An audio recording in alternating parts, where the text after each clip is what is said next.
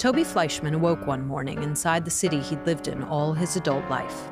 Many thoughts had crossed Toby's mind in the hours since he was informed that his ex wife dropped the kids off a full day earlier than expected.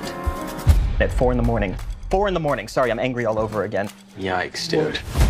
Toby was forced to ask the question that occurred to him nearly every few minutes since his separation How did I get here? Todd says you don't play tennis or golf? Mm, yeah, I played basketball. Good for you.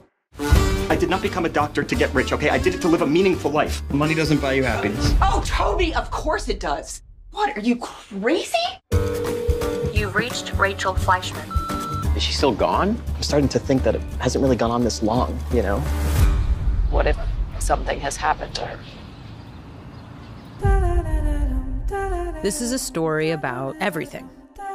It's about life and marriage and how young love can become old resentment and money You can't get one of these for less than 10 grand. and dissatisfaction I feel like I'm not alive. You chose this!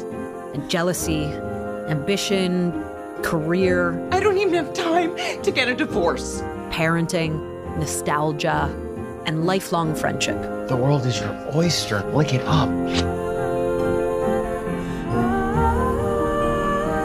We just saw Rachel.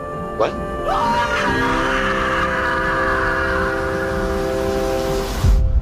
That's him. Da da da da dum, da da da da dum, da da da da